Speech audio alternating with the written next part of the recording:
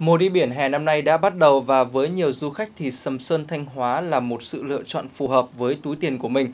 Tuy nhiên thì từ lâu bãi biển này vẫn có nhiều điểm khiến cho du khách chưa hài lòng, đó là nạn à, đeo bám ăn xin làm phiền du khách, ép buộc khách phải sử dụng dịch vụ với giá cao. Chính vì thế mà trong mùa du lịch năm nay thì chính quyền địa phương quyết định áp dụng quy định 90 để xóa bỏ tiếng xấu này.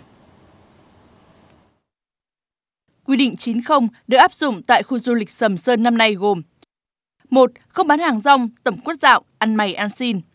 2. Không trèo kéo, đeo bám làm phiền du khách. 3. Không mồi chài, ép buộc khách sử dụng hàng hóa dịch vụ.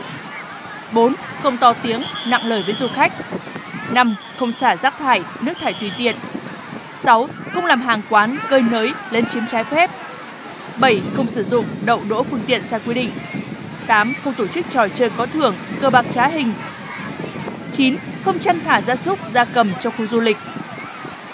Ban nhân dân thị xã Sầm Sơn đã công bố hàng loạt số điện thoại đường dây nóng để du khách phản ánh những bất cập, tiêu cực đến cơ quan chức năng, gồm số điện thoại của Chủ tịch Ủy ban nhân dân thị xã, trưởng công an thị xã, đội trưởng đội quản lý thị trường, cảnh sát 113 và cấp cứu biển Sầm Sơn.